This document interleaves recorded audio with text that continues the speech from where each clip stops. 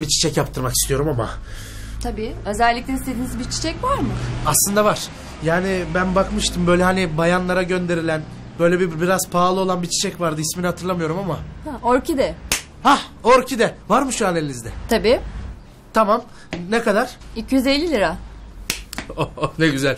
Görmeli çiçek piyasasında hiç dalgalanma olmuyor. Fiyatlar hala aynı pahalı. Olsun. Seval Hanım'ın gönlünü bir şekilde almam gerekiyor. Ben alayım onu. Şey verelim. Tamam. Ee, tamam. Ee, bir saniye. Kredi kartı geçiyor değil mi? Tabii. Tamam. Onu şey yapalım. Evet, şöyle. Ayranımız yok içmeye. Hatuna orkide alıyoruz. Ya bunu bölebiliyor muyuz? Çiçeği mi? He çiçeği. Or kısmını birine, kide kısmını da annemgillere göndereyim diyorum ya. He? Anlamadım. Hanımefendi hani taksit oluyor ya kredi kartına onu bölebiliyor musunuz demek istedim. Ha, maalesef. Maalesef maalesef size yapacak bir şey yok tabii sağ olun. Onu çekelim. Ben bir not yazıyorum o zaman burada. Tamam. Tamam.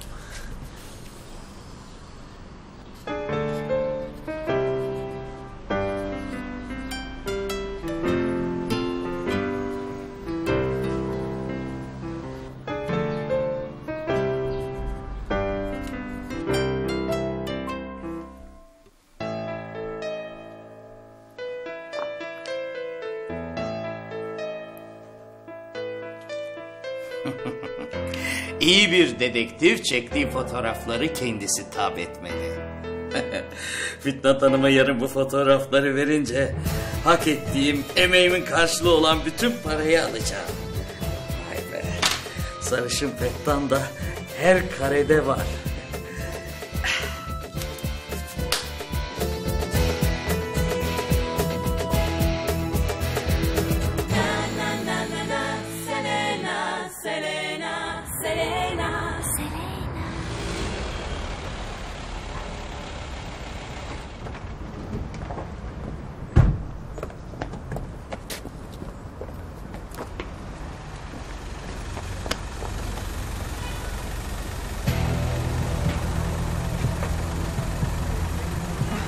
Gerçekten de işe geldi.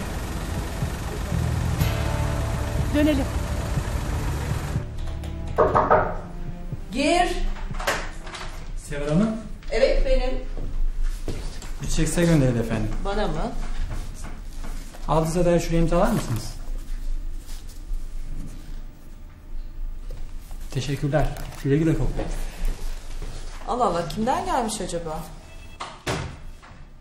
Tek gerçek sensin, gerisi yalan. Ekrem Aykar. E pes yani, pes bu kadar da fazla ya. Göstereceğim sana esas gerçeği Ekrem Aykar. Sana iyi bir ders lazım. Efendim yaptığımız araştırmalar ham maddenin Türkiye Cumhuriyetlerinden temin edilmesinin daha feasible olduğunu gösteriyor. Ancak nakliyenin deniz yoluyla yapılacağını da düşünürsek o zaman Kuzey Afrika ülkeleri de cazip olabilir.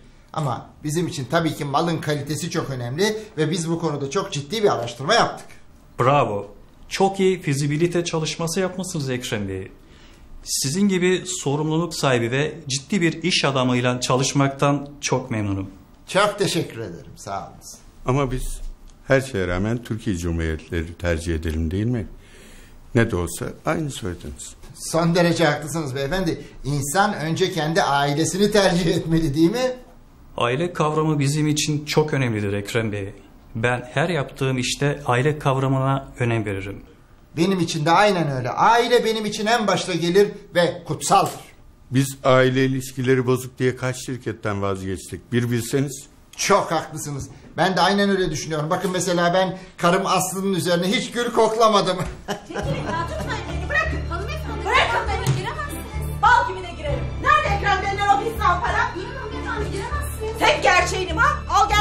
gerçeğini başına çal da esas gerçek neymiş o zaman öğrenirsin. Kimsiniz siz hanımefendi? Kim olacak hayatım? Senin tek gerçeğinim. Saçmalamayın hanımefendi. Nasıl sen saçmalama. Bundan sonra bir daha saçmalayacak olursan başına neler gelecek onu düşün. Ne utanmaz adamsın sen ya. Hem evli barklı adamsın hem de utanmadan bana asılıp tacizde bulunuyorsun. Bir daha karşıma çıkma. Hanım, Çok özür dilerim aniden geldi engelleyemedim efendim. yani bu kadın zır deli olmalı. Bunlara karşı önlem almak lazım beyefendi. Biz de önlemimizi aldık. Bundan sonra sizlerle çalışmama kararı alıyoruz. Nasıl yani? aile kavramınızın ne olduğu maalesef ortada. Ailesini aldatan bir insan iş hayatında da aldatır. Beyler bir dakika. Hayır mesele öyle değil. Beyler bir dakika. Ay çok üzüldüm Aslı'cığım. Yani Ekrem Bey'den hiç beklemezdim açıkçası. Ah Fitnatçı ben bekler miydim sanki? Ben de düşünüyorum adam gidiyor sabahtan akşamlara kadar bizim için çalışıp didiniyor çırpınıyor diye. Meğer elin aşiftesiyle kek çırpıyormuş. Ah olacak şey mi? Yani senin gibi bir kadına yapılır mı bu? Böyle güzel, vefalı, eli açık bir kadın bulmuş. Daha ne istiyor anlamadım ki. Ben de anlamadım ki ne istiyor.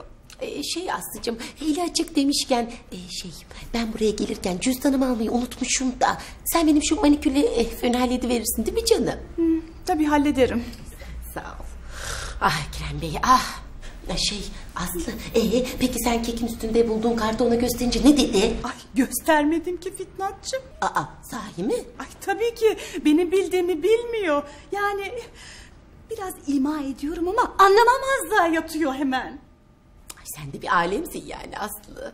Ay canım böyle durumlarda bildiğini belli etmemek gerekiyormuş. E, erkekler ay nasıl olsa artık her şey ortalığa döküldü deyip daha fazla azıtıyorlarmış. Dayanamam ben buna. Hadi canım. Tabii canım o yüzden de sıkı takibe aldım. Her gün gerekli gereksiz telefon edip zırt pırt rahatsız ediyorum kontrol ediyorum. Hı, en güzeli.